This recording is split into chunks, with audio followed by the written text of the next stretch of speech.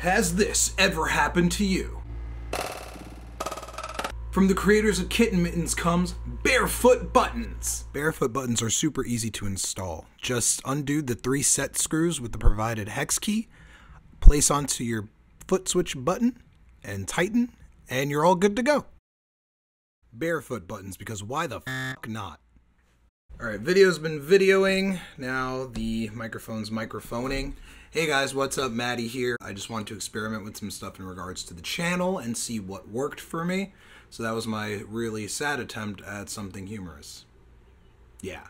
Anyway, let's talk about barefoot buttons. Why isn't it focusing on the thingy? Let's talk about barefoot buttons. Now, barefoot buttons, uh, I believe, are a relatively new company.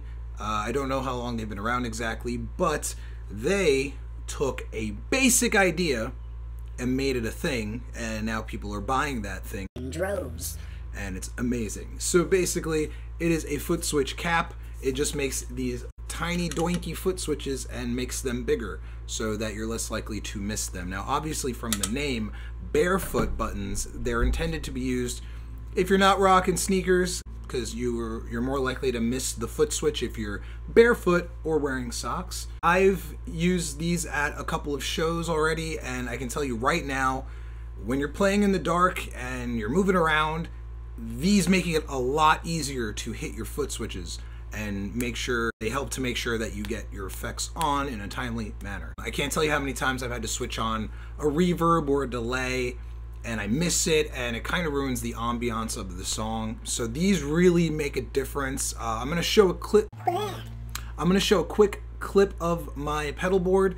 You'll see that I have a bunch of them on there now.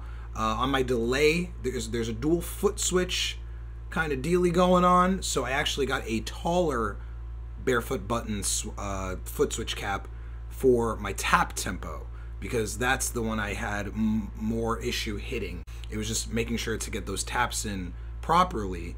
Uh, so now I have the taller foot switch cap and it makes things a lot easier. So I just wanted to make a quick video to show you guys barefoot buttons. Definitely check them out.